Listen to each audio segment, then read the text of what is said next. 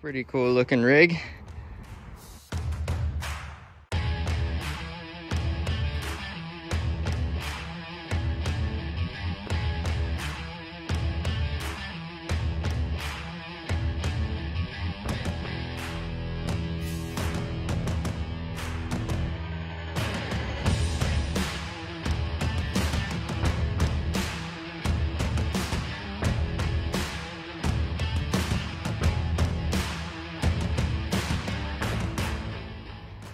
Cowl induction hood, LEDs, some crazy dually three spoke Worx wheels.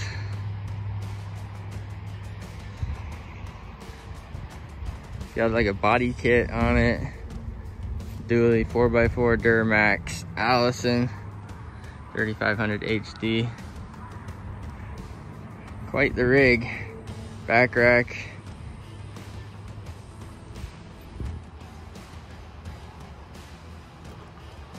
So it's a 3500 HD Allison Duramax, I guess. Oh, that's a mouthful. Fancy. Sort of looks like a Denali truck. So the customer states that the door handle is loose. And yes, it, it sure is. So that could be either broken on this side or the bolt could be loose. We'll have to get in there and see what it's all about. It's gonna be uh, removing the interior door panel. Seems to be a common problem for these trucks to go through door handles and there's a cable operated cable operated door handles. So some of them have a vertical armrest like the Avalanche and there's a cap on it. You have to take that cap off. But in this case here there's a cap behind the behind the armrest there. And there's two 10 millimeter bolts. There's another cap behind here. That's one 10 millimeter bolt. There's this this has to be free or removed this triangle here. And it just pops out. This just pops out. This just pops out and there's one tab here. This has to be up. So the smaller clip here has to be popped out.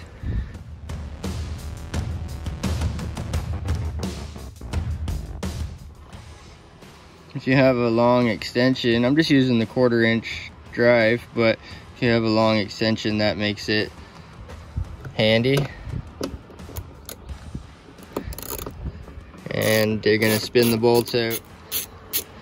But if you have an Avalanche or an Escalade or something, it's probably the vertical one.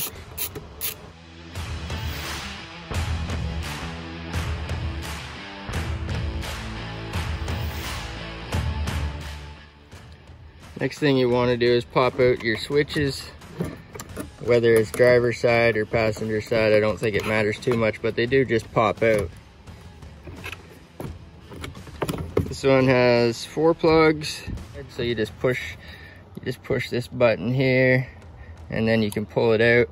I'm gonna have to set down my camera for a minute probably. Oof.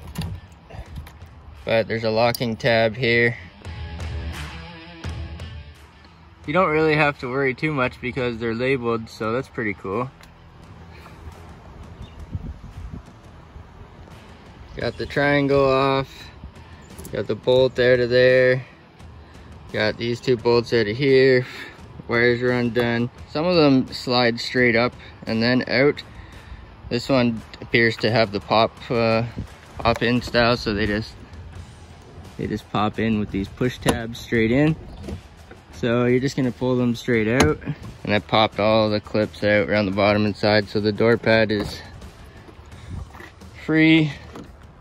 She's free here and I think it'll lift up. That's why you have to undo this here because it'll lift up like that. Ooh, up, up and away. And I had to undo this. This is the actual interior door handle. I think they're known for handles and cables, these trucks. So I had to undo the cable and there's a two stage. You squish the case and you release the case first and then you pull up on the center ball. I don't have my tripod here so I and I was trying to hold the door pad floating and hold the camera and I had to undo this so I had to set the camera down but you squeeze these you squeeze these together and then you, the case will pull out and it'll rotate in there too so if you need to get at the other side I usually squeeze one side and then sort of cant it and then I squeeze the other side and pull it and then the ball just comes straight up.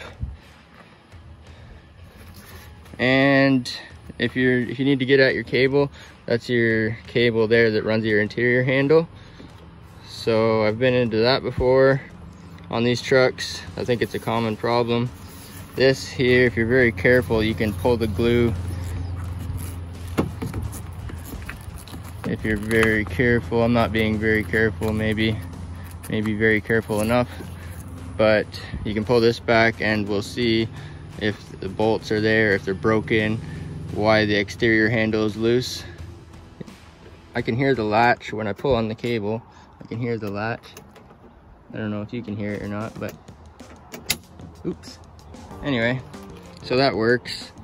Um, it's a little bit tricky getting this off so have some patience if you don't want to hold it up by yourself, you can undo these yellow clips and then the cable will have more slack. And maybe you can set the door pad down on the ground if you take these clips off because it's cable operated and you have slack so you can move it around. That's the door handle right there. And that's me pulling on it. And if you pull too hard, the whole handle comes out a little bit.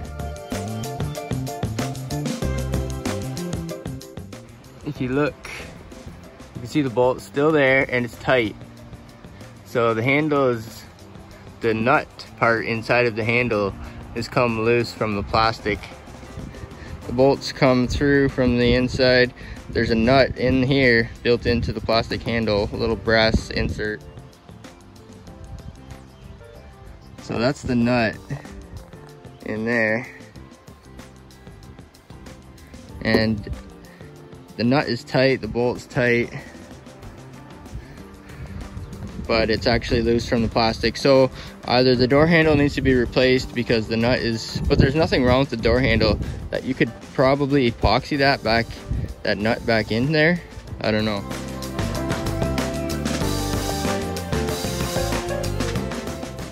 If you look inside towards the latch, up, up and away, that goes to the exterior door handle up in there. I unclipped that yellow clip there and that holds the, the rod and I'm just gonna pull the whole rod out I think. And the handle is unbolted on both sides but if you pull the front out there's a little dowel pin. If you pull that dowel pin out and then just wiggle it forward a little bit like that it has a hook so it has to come forward a little bit. And then the connecting rod you can see this hook here. So it has to come forward a little bit. The connecting rod will come up up and away.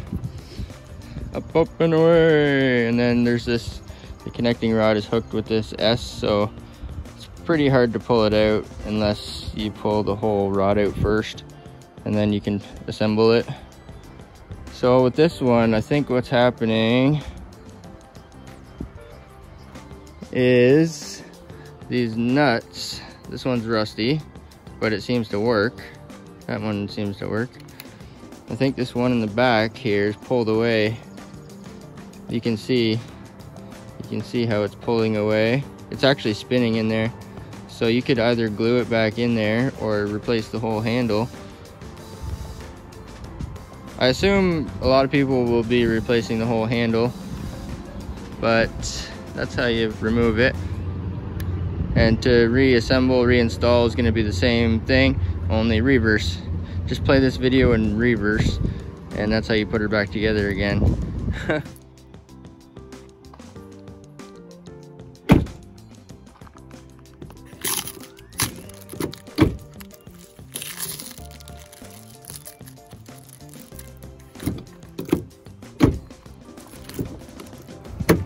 There she is. New. I just gotta put the cap back on here. Oh, that bolt came out. I thought I was gonna have to use a magnet to get it.